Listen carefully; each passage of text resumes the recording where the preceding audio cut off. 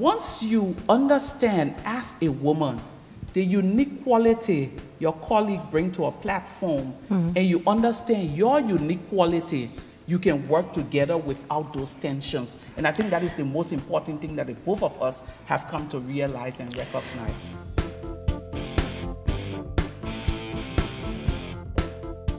If you want to see growth in, in, in our world you need to accept change uh, reality is that um, South and East are growing much faster than Occident.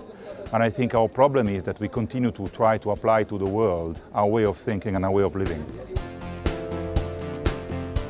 I am not especially in favor of quota, but I think that regarding a very specific situation like uh, how can we find more women to become board, board members, it is very efficient.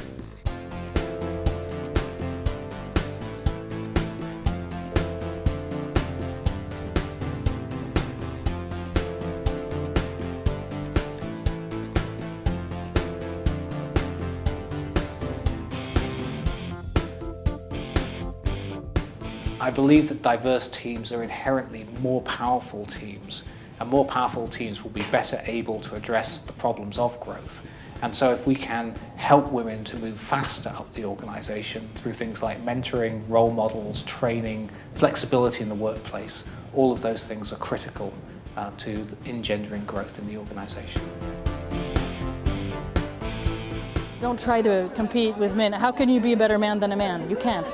Uh, and your advantage, if there's an advantage in terms of diversity, comes from being a woman. So never sacrifice that.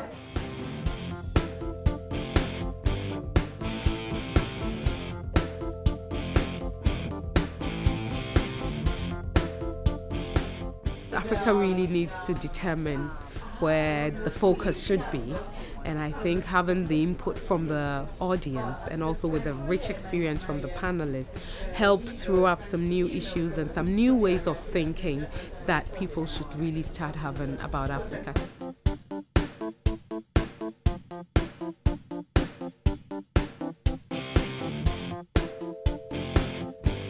Talked about the challenges by, of, of, climate change and the fact that these challenges probably are not very well thought through because you know there, there's increasing droughts and floods and the cycles are getting shorter uh, when we have problems and they are at a dimension that we are not really prepared for and so we need more resilient.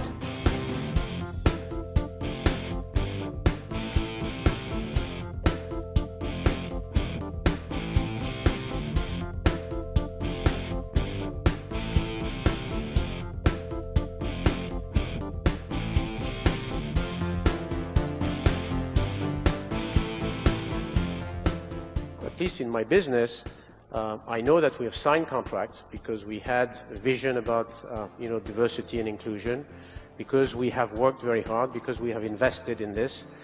I think it's good for companies. It's good for us. It's good for our business. And as long as we realize that and we push that forward, I think we can make progress.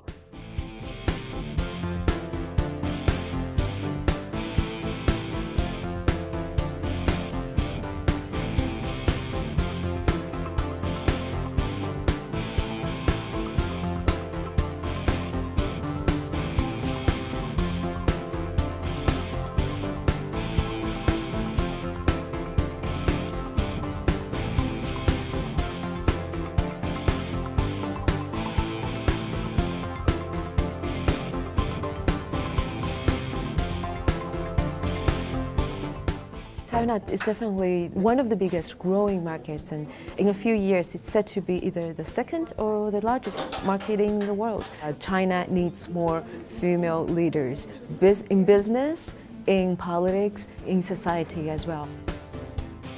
I think the master worlds are really keep on being actors, uh, keep on being agents of transformation for our societies and companies and uh, play for innovation, creativity and believe in yourself.